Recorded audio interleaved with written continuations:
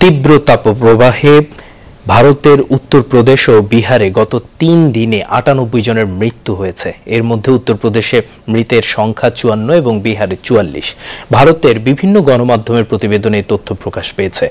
উত্তরপ্রদেশের বালিয়া জেলা হাসপাতালে তাপপ্রবাহের কারণে অসুস্থ হয়ে পনেরো, ষোলো এবং সতেরো জুন যারা ভর্তি হয়েছিলেন, তাদের মধ্যে চুয়ান্ন জনের মৃত্যু হয়েছে। বেশিরভাগ মৃত্যু হয়েছে হৃদরোগ, স্ট্রোক এবং ডায়রিয়ার কারণে।